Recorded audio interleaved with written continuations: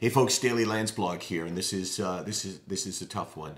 A couple of days ago, we were in Waterloo. Uh, when I say we, uh, Diana and Kim and Casey and I were there, along with Clint Malarchuk, to to talk to first responders, uh, the Waterloo Police Service, uh, and the and the chief out there put on this great event. They invited fire and ambulance as well, and uh, I thought it was significant, significant for some in the audience, and for sure significant for me.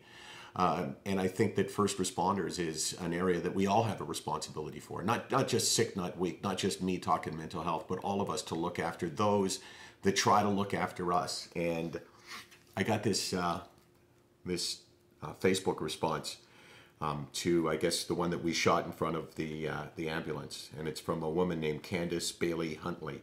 Unfortunately, I just lost my husband, a firefighter, on March 19th to this sickness. Could not convince him to get help. Devastating.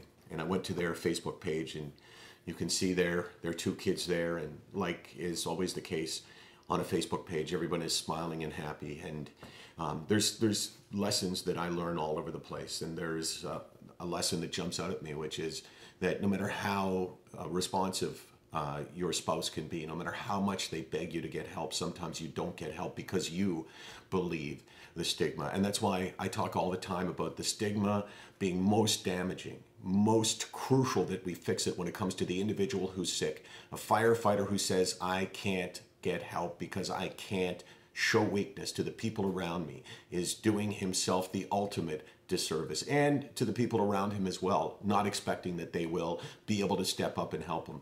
So I, I, I beg you, if you are, um, if you love somebody who's struggling, that you reach out to us and let us try to reach out to them if in fact they don't want to get help. It's just, it's just hard to believe that in 2017, 2017, we are still in a position where people will take their lives, leave people that love and that they love them, and leave them because um, help just seems too far away.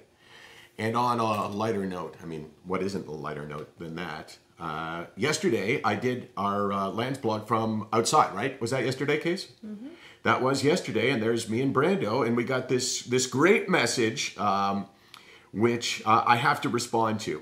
Uh, I try to follow you every day, but today's blog was a little disappointing. Not the advice itself, but the remark about the stinking bird. Because yesterday, I uh, I heard a bird outside, and I was just kidding around. I mean, let's face it. I just turned around and went, "Shut up, stinking bird!" So I. You hear that, Case? Do you hear that? Yeah.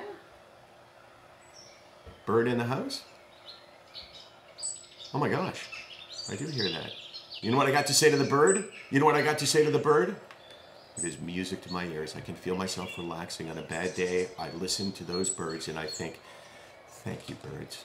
Thank you for making me feel better. Is that better? SickNotWeak.com, 24 hours a day, 364 days a year. We're here because, uh, because we need to be and because uh, we want to be.